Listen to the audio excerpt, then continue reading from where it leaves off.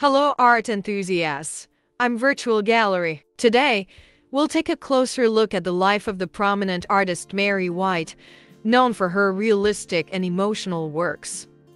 Mary Whyte was born in 1953 in South Carolina. Her passion for art began in her childhood, and she decided to embark on an art career, leaving her own mark. Whyte, particularly recognized for her watercolor technique, stands out for her superior ability to portray human stories on canvas, drawing in.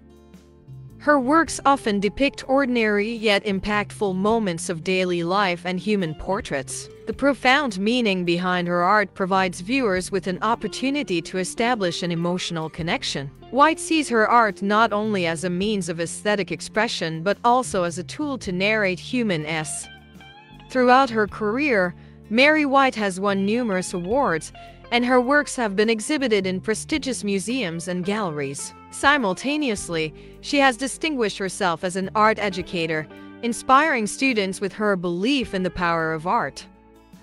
Her art, with its emotional richness and realistic details, has earned a special place in the hearts of art enthusiasts. Mary Whyte continues to be a name that leaves a mark on the art world. After this brief overview, don't forget to watch our video to explore Mary Whyte's exciting art journey up close. Wishing you an artful day, and welcome to Virtual Gallery.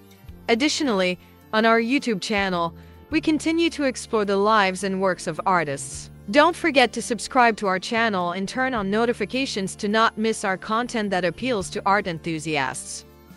By sharing your opinions and suggestions in the comments, you can contribute to further improving the content of Virtual Gallery.